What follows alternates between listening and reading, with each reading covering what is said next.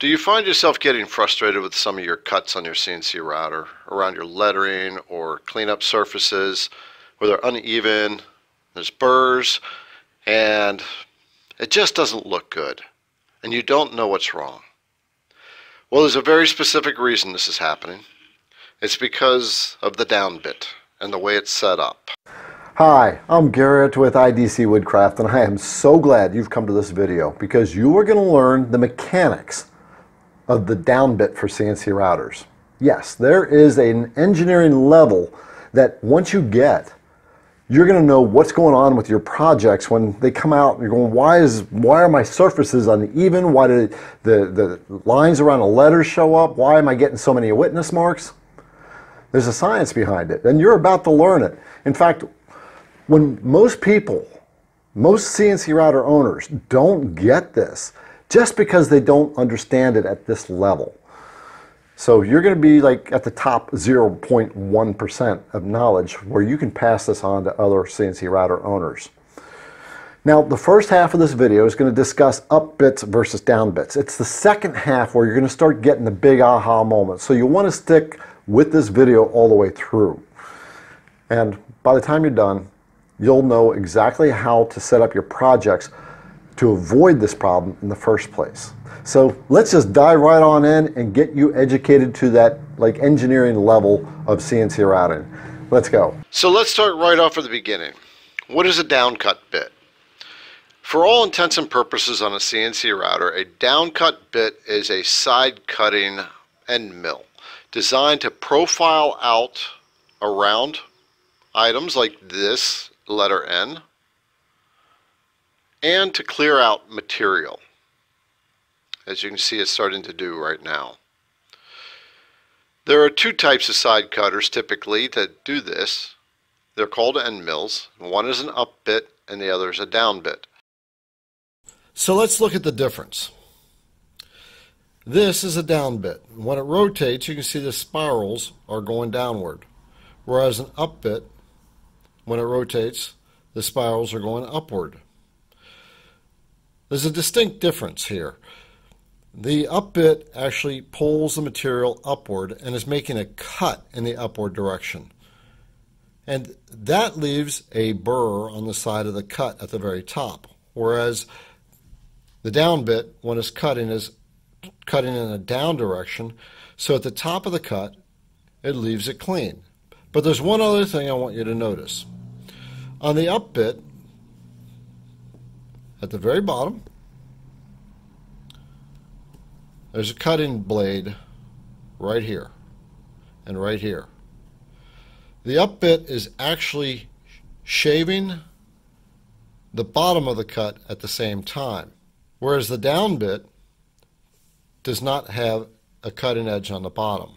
In fact, the bottom of the down bit is going backwards. So when it's rotating, it's actually trying to screw itself out of the material by virtue of the forces here, it wants to lift up, and the reverse spiral and the reverse spiral on the flute. What that does is that actually pulls the bit up out of the material. The down bit wants to pull it down a bit, however, it's got the bottom cut and therefore won't do that so much. Here's an example of the difference. This first cut is with a down bit. And the next one, this one, is an up bit. Now, if you look at the cuts up close, the one on the right is with the down bit. You can see that the corners are very clean and you don't have to sand them. Whereas with the up bit, the corners are rough. You're going to have to sand some wood away from that one. Now there is one other distinguishing difference that I want you to take notice of.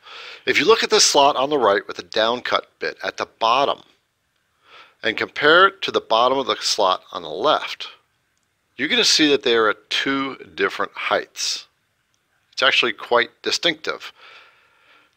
If we look at it from the end, it becomes very clear.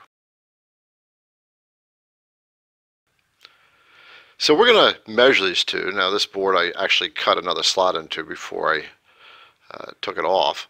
But we are going to measure the left, the right one first, the one with the down bit. And the depth is 0.24 inches.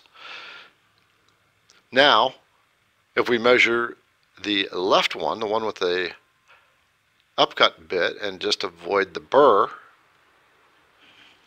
we have a depth of 0.285 inches. Very distinct difference. So basically what's going on is the direction of the corkscrew of the cutting blades or the flutes is actually mechanically pushing or pulling the bit in one direction or the other. So an upcut bit is actually trying to draw itself into the material, whereas a downcut bit is trying to push itself out of the material. Now, how does that translate more into the finish work of your project? Well, you've noticed on your projects that some areas will be nice and smooth, other areas will have these little steps and they'll go down and, and, and you'll get the little burrs along there. Well, that's because of your tool offset or the step over function that you're using. When the router bit is first making its cut, it is cutting 100% diameter of the bit through the slot, like the example I showed you before. But if you have, say, a 40% step over, that next cut, it's only cutting 40% of the material. And what's going to happen is it's not going to pull itself down nearly as hard. And because of that, you're going to end up with a step just like that. So we're going to try to describe it this way. Let's pretend that this is a job, and we are in my Vectric software, by the way, and this here is a slot being cut in the wood. This arrow is indicating the direction that the router bit is moving, the down cut. Now remember, the down cut wants to push itself upward. Well, as it's making its cut on the first pass, it is literally cutting the full 180 diameter of the router bit. So you have all that surface that's trying to push the router bit up. Now, when you come into your step over passes, let's say you have a 50% step over, half the diameter of the router bit, right here. Now we're only working with 90 degrees of the bit, or a quarter of the bit. And because there's not nearly as much upward pressure, the router bit is going to relax down a bit. And what you're going to end up with is a line right along here where this area is sitting higher than this area. Now let's say the router bit comes back through again with a 25% step over, and now it's over here. That's less pressure there Plus, there's much less material on the bottom. So this router bit is going to relax almost down to its full depth. So you're going to show another step going on right here. And this area is going to be the deepest. This will be the second, and this will be the shallowest right here. If you took it and looked at it on the side, basically it's going to look like this in the bottom of your cut where this area was the first slot and this would have been from the step over and this would have been where there was almost no resistance at the bottom or on the side. So this is why you're getting all kinds of weird cuts on your projects, particularly around letters when you're doing offset and it's tracing the letters. Okay, well, I just want to stop for a second and ask you if you feel like the information I'm giving you is giving you some aha moments as to maybe why your projects aren't turning out quite the way you want, maybe give me a thumbs up. That tells me that I am giving you the right information to make you a little bit better. Actually, this is intended to get, make you a lot better. And if you're brand new to this kind of stuff, still trying to figure it all out, well, subscribe to the channel. And if you're really stuck, you can always set up an appointment with me. We will do a one-on-one, -on -one, get you out of that stuck place and move you further along. Also, when it comes to router bits, I got tired of dealing with the big boys and the real expensive bits and the cheap ones off Amazon, so I source my own now. And if you're interested in a nice set that's built for like the CNC beginner. It's got everything. There's a link down below and individual bits as well. So yeah, check it out. Huh, you are getting some deep dive information here. I mean, this is engineering level stuff. and almost no CNCer out there gets this. Just doesn't register just because they don't know. But now you do, you can pass on that information as well. Anyway, we got to get back into this so you can get on your next project and make it nice and clean. All right, let's go. So let's talk about how to stop that. I'm going to show you in the software here. This is Vectric, particularly VCarve. And your software will, in some way, shape, or form, have this where you have a finish pass. So what we're going to do is go over our toolpath function. And I'm going to close that. And so let's just pretend, we'll just pick this item right there. It doesn't matter. And what we're going to do is do a pocket. So I've got to stop and tell you this. This happens when you are doing surfaces where you're making multiple passes over a surface. So if you're doing a surfacing cut or any kind of pocket cut, this is where this happens at. And you'll see that from now on. it's always happening in pockets, around letters, uh, curves, anything where you're doing multiple passes over the same like area where the tool's just gone past. So, all right, let's get back to this. So in this pocket, we are set up for a depth of 0.1 inches using a quarter inch end mill. And this is a, uh, a down cut. Now it says here we have one pass. And what it's going to do, it's going to pocket out this entire project right here if it was all one vector. But it's you're not going to see it in this example. It only shows up in the actual project. But we're just going to pretend that this is the project, and we're going to pocket out this area here. So it's going to make one pass. It's going to go down. It's going to do all its cuts, and you're going to see different elevations at the bottom of this job, and there's going to be rough areas. There's going to be okay areas. The way that you fix this is go into your tool path. In this case, we're going to go to Edit I'm sorry, we are going to go to the edit the passes and we are going to set a last pass thickness. So we're going to set that thickness actually quite thin. We're going to go to a 0.007.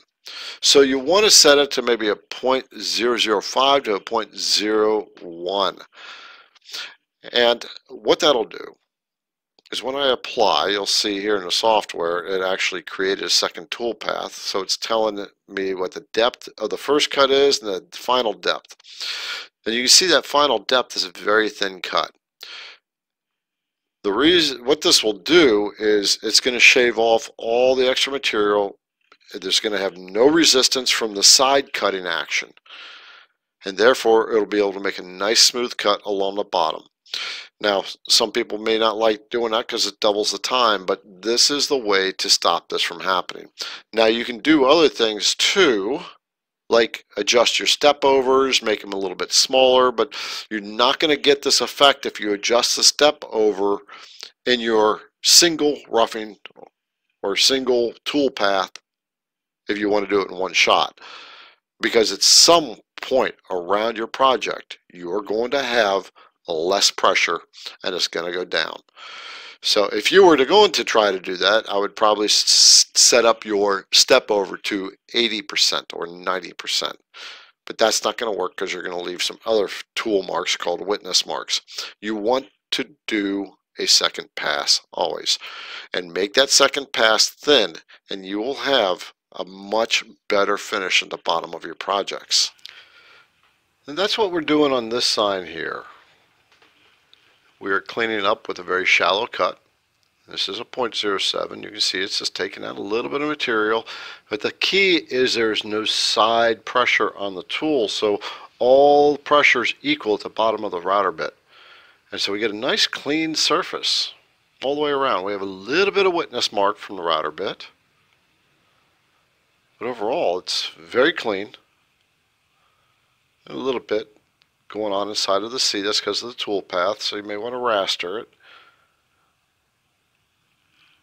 we're looking quite good. very happy with this. Okay, well, do me a favor. Leave a comment of the big aha moment that you just got out of this. And I'm really curious. And also, of course, like it if you felt like this was useful.